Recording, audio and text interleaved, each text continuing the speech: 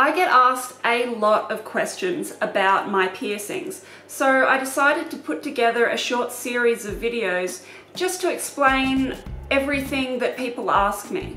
And in this week's video, I'm going to be talking about healing, pain, and just generally aftercare for a new piercing, such as rejection and migration. Before I start, I just want to let you know that I am not an expert. I am not a professional piercer. This is only my personal experience from all of the piercings that I've had. I think the total amount is something like 67 piercings that I've had, but I currently have 54 piercings. Cleaning a new piercing is different depending on what sort of piercing you've gotten done. But the number one thing is do not clean a new piercing with soap. Soap has so much bacteria and it's basically putting salt on a fresh wound. It is going to hurt like hell and it is more than likely going to make the piercing infected most piercing places, depending on where you go, they will either give you a spray that will say, it's more for when you get cartilage piercings or ear piercings, they'll give you a spray disinfectant or they will give you advice on what to get and how to clean it. What I use is sea salt and that is the best thing to clean a new piercing. You can get sea salt from most grocery stores. You can also buy a disinfectant spray. I got this one at the pharmacy. You can get so many different sorts. You can also use hydrogen peroxide, but don't use that unless the piercing is infected or it is having a lot of trouble healing because hydrogen peroxide is a very intense form of cleaning a piercing and if it's healing okay it will just damage it and it will make it hurt a lot. If a piercing is being rejected there is a big difference between rejection and infection. If a piercing is being rejected, it will usually be a very, very dark red to a purple color. But certain piercings, such as the industrial piercing, will take a long time to heal. The difference between infection and rejection is that rejection cannot be fixed. Rejection is gonna happen and there is nothing you can do to fix it after it's happened. But with infection, infection can be fixed. But if you're cleaning your piercing properly, it should not get infected, but if it does, it can be fixed. But if it starts to migrate out, don't freak out unless around the piercing is very, very dark red color. Then it's rejecting. That is mainly with surface piercings because with cartilage piercings, they don't tend to migrate as much, but with a cartilage piercing that's rejecting, it will not heal. No matter what you do, it just will not heal. And generally that bubble will start to get bigger, it'll start to be more painful, and it will start to go over the actual jewelry. For things such as a belly button piercing, it will stay red for quite a while, but if it stays red for a long time or if it starts to get really red or you can see the actual jewelry coming through the skin, it's rejecting. And I can tell you this, that no matter what you do, there is no way to prevent a piercing from being rejected and there is no way to stop it from rejecting. There is absolutely no way that you can save it. You have to take it out. It is just gonna minimize the scarring. Believe me, I know how much it sucks when you have to take out a piercing. I am always almost crying when I have to take out a piercing because it's rejecting or because it's infected. When I was 14, I got my belly button pierced and it slowly migrated out. Now migration is very different to rejection. Migration will just be the jewelry slowly slipping out. It doesn't always come all the way out, but with rejection, it will push itself all the way out.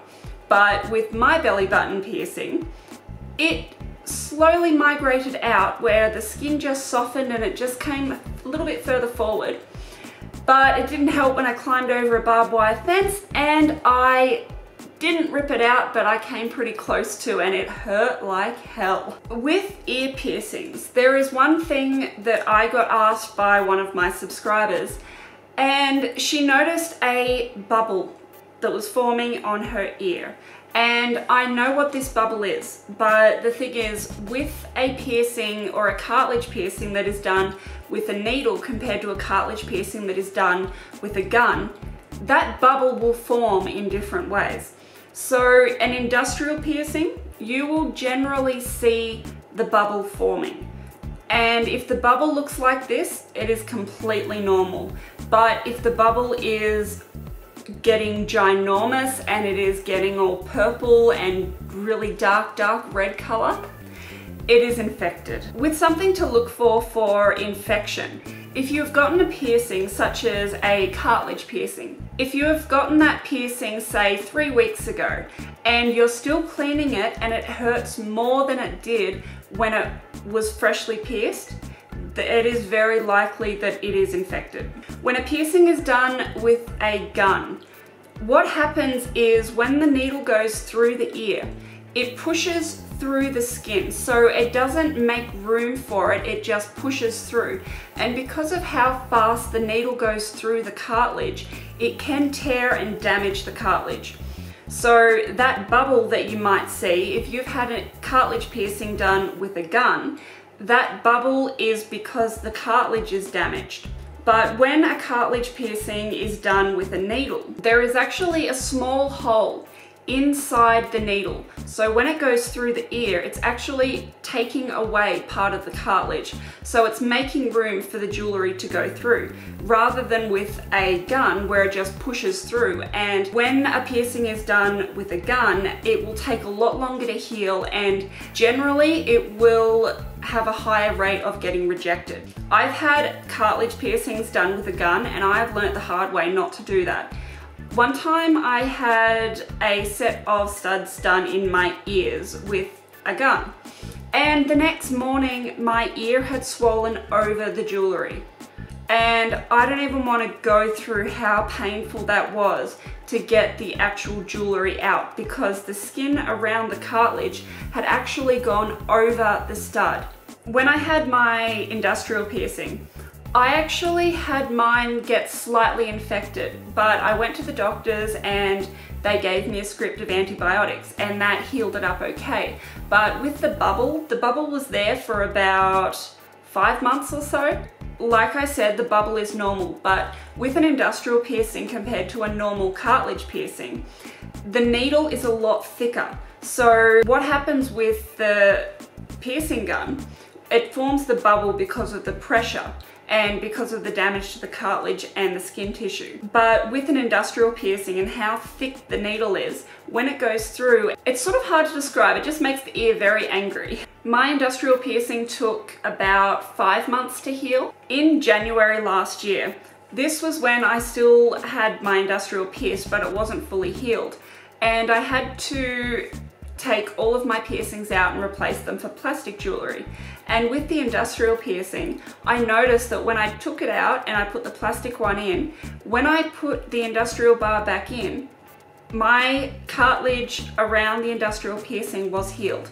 I don't know why that is and I don't know if it's to do with the plastic, I don't know. I don't know any of that. Like I said, I'm not an expert and this is all from experience. I hope that I've helped you in some way. In next week's video, I will be talking about, what am I gonna be talking about in next week's video? I don't know, let me know in the comments what you would like to see me talk about in next week's video. Thank you so much for watching. I love you all and I'll see you next week.